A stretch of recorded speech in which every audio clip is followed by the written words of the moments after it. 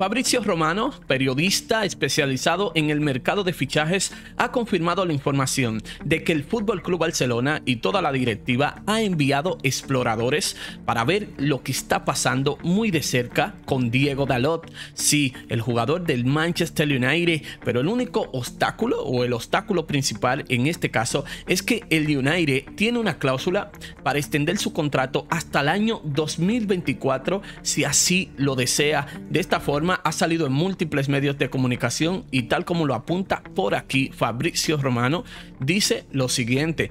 El Barcelona ha enviado a sus exploradores, dígase ojeadores, etcétera, etcétera, eh, para seguir a Diego Dalot varias veces. Sí, en varias ocasiones, en varias ocasiones enviado a estos exploradores para ver muy de cerca lo que está pasando con Dalot en el Manchester United. Pero ¿qué pasa?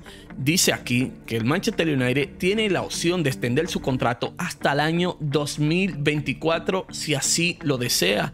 ¿Qué significa esto en pocas palabras? Bueno, que el Manchester United este, puede extender eh, el contrato de Dalot que termina, por ejemplo, el año que viene. Si Dalot sigue como va, es posible que el Manchester United utilice esa carta, esa carta que tiene en su contrato y es de extender el contrato de Dalot sin ni siquiera negociar o sin ni siquiera subirle el, el salario, etcétera, etcétera, lo puede extender hasta el año 2024. Por otra parte, aquí dice más abajo Fabricio Romano lo siguiente, no hay tiempo para decisiones o conversaciones hasta el Manchester United en este caso, sí, o sea, no ha habido ningún tipo de conversaciones con el Manchester United. Eh, no hay palabreos ni siquiera con el jugador eh, portugués Diego Dalot, pero lo que sí se sabe es que la información ha salido en muchos medios de comunicación y Fabricio Romano lo acaba de confirmar que efectivamente el Fútbol Club Barcelona,